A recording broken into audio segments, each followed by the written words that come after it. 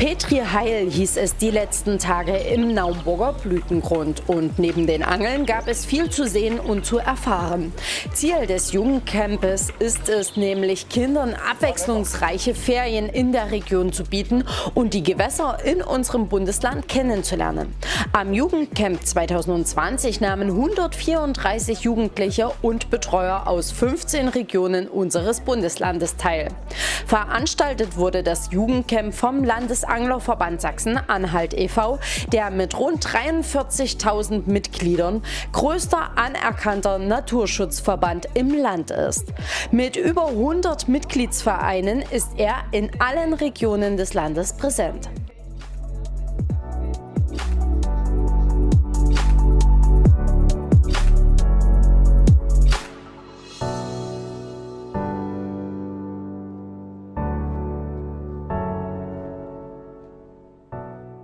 Im Mittelpunkt des Camps stand dabei das Erlernen und die Pflege sozialer Kontakte, gepaart mit ökologischer Bildung, der Vermittlung handwerklicher Fähigkeiten und der Pflege von Traditionen.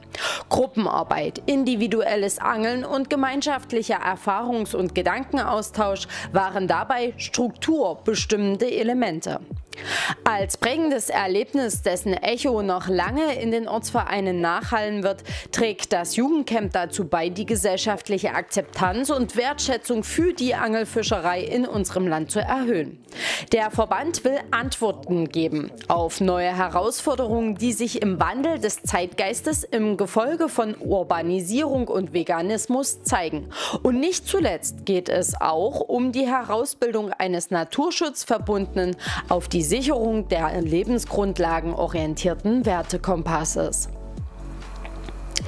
Die Talkrunde mit Persönlichkeiten des öffentlichen Lebens und das Zusammentreffen mit Meistern ihres Faches an 13 thematischen Stationen bildeten bewährte Elemente für ein unvergessliches Ferienerlebnis. Zugleich lernten die Teilnehmer die Angelfischerei in der Mitte der Gesellschaft zu beurteilen und fundierte Argumente abzuwägen.